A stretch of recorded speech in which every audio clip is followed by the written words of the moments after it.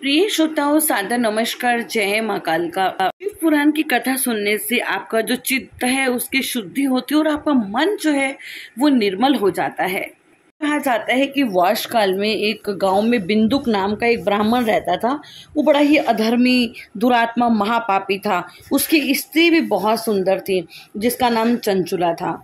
वो हमेशा उत्तम धर्म पालन के कामों में लगी रहती थी, लेकिन उसका जो पति था, वो वैश्यवृत्ति में लगा रहता था।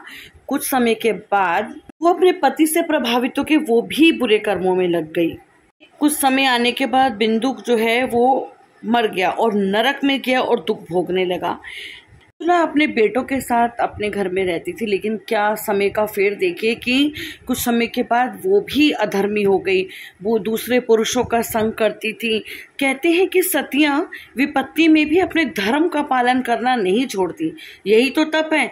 तब कठिन तो ज़रूर होता है, लेकिन हमेशा तप का फल जो होता है वो मीठा होता है।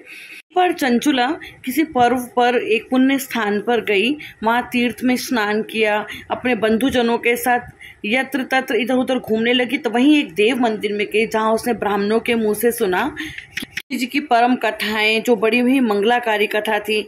और उसमें ये कथावाचक जो ब्राह्मण थे, वो कह रहे थे, जो इस स्त्रियाँ व्याभिचार, यानी कि गलत काम करती हैं, मरने के बाद यम लोग में उन्हें बहुत बुरी तरह से प्रताड़ना, यानी कि कष्ट मिलते हैं। ये सुनने के बाद चंचुला जो है, वो डर गई।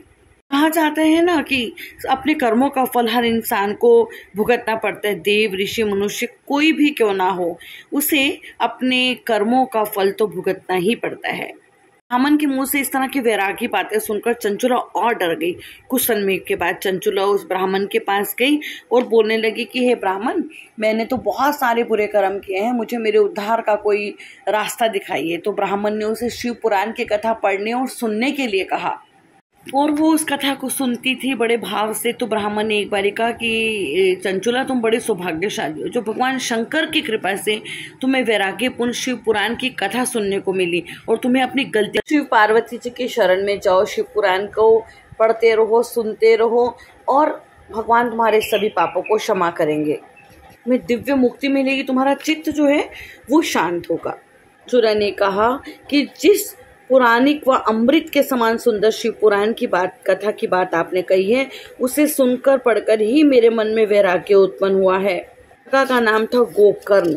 वहाँ पे चंचुला ने ब्राह्मण के मुख से और शिव पुराण सुना, भक्ति ज्ञान किया, अपने वैराग्य को बढ़ाया, मुक्ति देने वाली इस कथा को सुन करके वो जो है कृतार्थ हो गई मोक्ष को उसने पाया।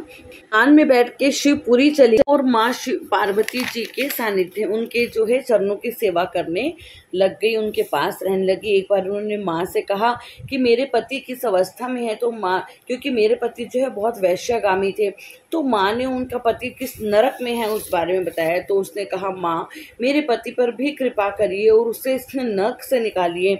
तो माँ पार्वती के कहने पर उस जो, उसका जो पति पिशाच बन चुका था, उसे भी शिव पुराण सुनाया गया।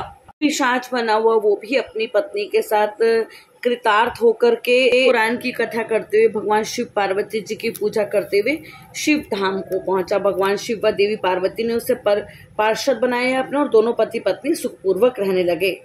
माँ शंभु प्रिया है सगुना और निर्गुणा है। पार्वती जो है, प्रकृति की पोषक है, सब सुखों को देने वाली हैं।